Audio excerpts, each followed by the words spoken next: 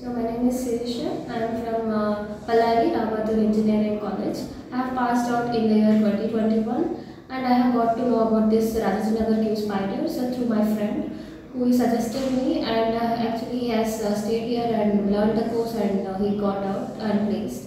So he suggested me this uh, Rajajinagar QSpiders and I have attended the uh, uh, Rajajinagar course in QSpiders, all the manual testing. Then uh, my active was taken by Selva sir and also uh, Girish sir and uh, Java by Pavan sir, manual by uh, Pradeep Niranjan sir, SQL by Murli sir, API by Kavit sir. All of the teachers have helped me and I have attended all the uh, subjects and also did uh, presentations after every class so it has helped me a lot.